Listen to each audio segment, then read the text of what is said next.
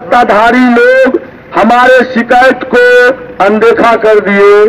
कई बार हमने कई माध्यमों से अपनी आवाज़ और सत्ता के नशे में चूर हमारे राजनेता, हमारे प्रतिनिधि, हमारे सांसद महोदय, हमारे इस आंदोलन में आप लोग भी अपनी भागीदारी सुनिश्चित कीजिए।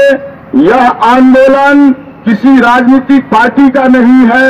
यह आन, यह आंदोलन निष्पक्ष रूप से ईमानदारी से समाज परिवर्तन के लिए है।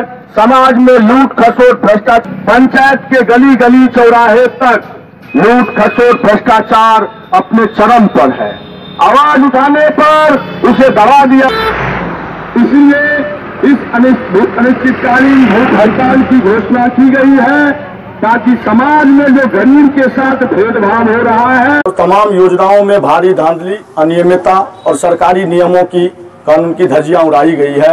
इसके लिए उच्च स्तरीय जाँच की मांग को लेकर जिलाधिकारी महोदय के सामने अनिश्चितकालीन भूख हड़ताल पर बैठा हूँ, और जब तक अविलंब उच्च स्तरीय जाँच नहीं होगी, घोषणा नहीं होगी, प्राथमिकी दर्ज कर दोषियों को सख्त से सख्त कार्रवाई नहीं की जाएगी, यह अनिश्चित भूख हड़ताल अनवरत निरंतर जारी रहेगा।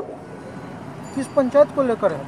यह ग्राम पंचायत कर्णपुर से इसकी शुरुआत हुई है, लेकिन सुपौल जिला का तमाम पंचायत इससे ग्रस्त है। तमाम पंचायत में प्रभावशाली व्यक्ति जो बड़े बड़े लोगों से सत्ताधारी तक उनका पहुँच है, वो अपने प्रभाव से समाज के लोगों को डराकर, धमकाकर, प्रताड़ित कर, खुलेआम लूट कर रहे हैं। खासकर मुख्यमंत्री सात निश्चय योजना